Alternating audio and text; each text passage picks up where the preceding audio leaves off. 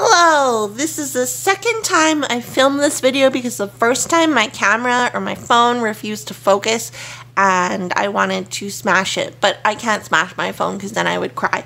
So we're going to be unboxing a diamond painting from Diamond Painting Factory.uk co.uk Diamond Painting Factory UK. I've covered up my last name because no one needs to know my last name except for stalkers and no one really wants to stalk me, but just in case. So here is how it comes.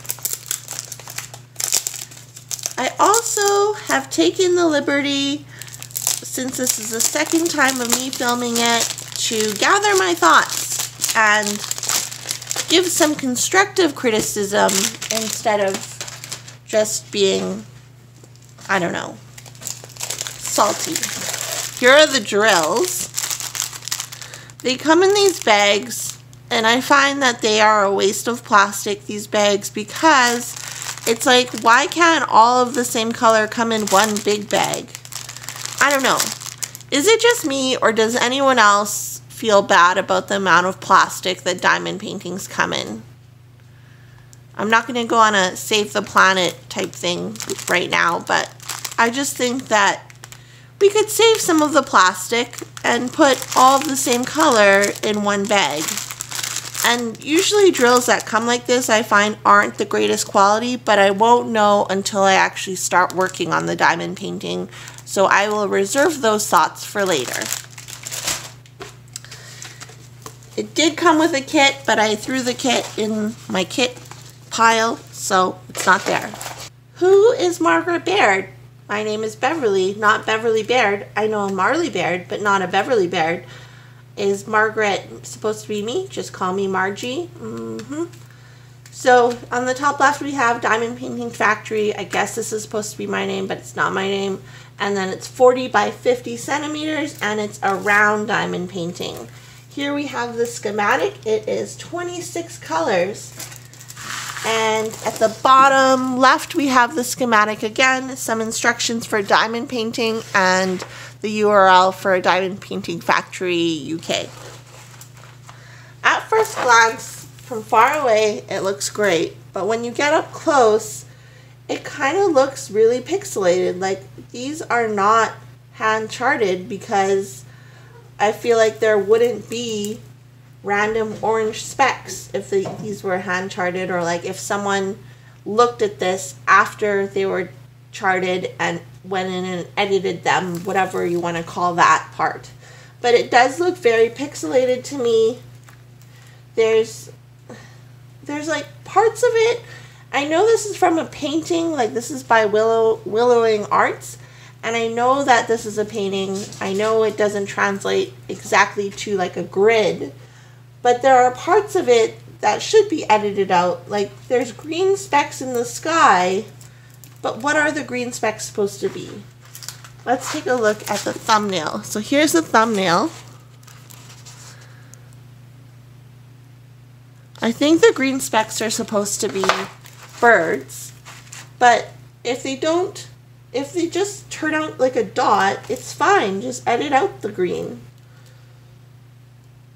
And I just, I don't know, I feel like it is very pixelated because there's like these extra colors in places and it could have been cleaned up a little bit more than it it is. But again, I won't know until I actually work on it.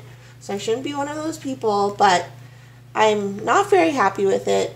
I mean, this canvas was $27 and I waited a month and a half for it to come it is licensed art, which I appreciate. I just think that for the size, it should have, it's detailed enough, but it should have been edited, like just extra colors in places and I don't know. Is it just me? What do you guys think of this diamond painting?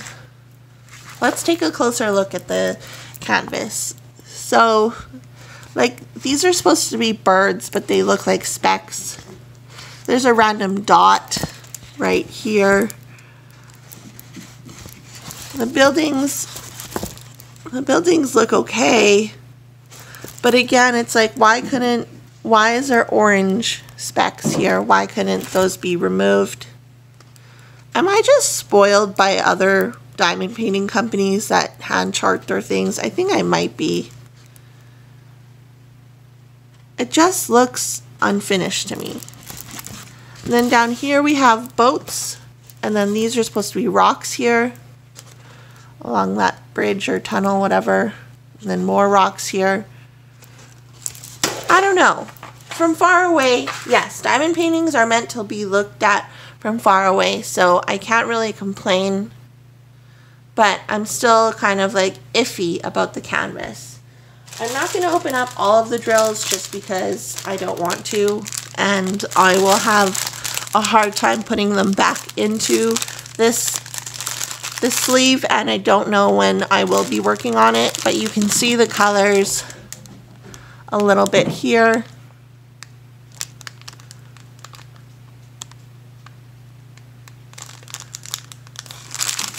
More colors